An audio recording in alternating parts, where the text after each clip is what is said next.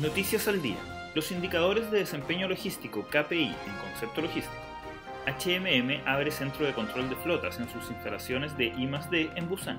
Transformación digital, un desafío que toda empresa debe asumir, por Andrés García Izquierdo. Exien Fuel Cell, el camión de hidrógeno que Hyundai fabricó a compradores suizos. Prologis lanza nuevo servicio web para comprar materiales logísticos.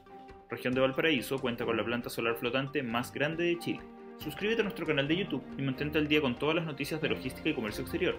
Síguenos en todas nuestras redes sociales y visita www.mascontainer.com.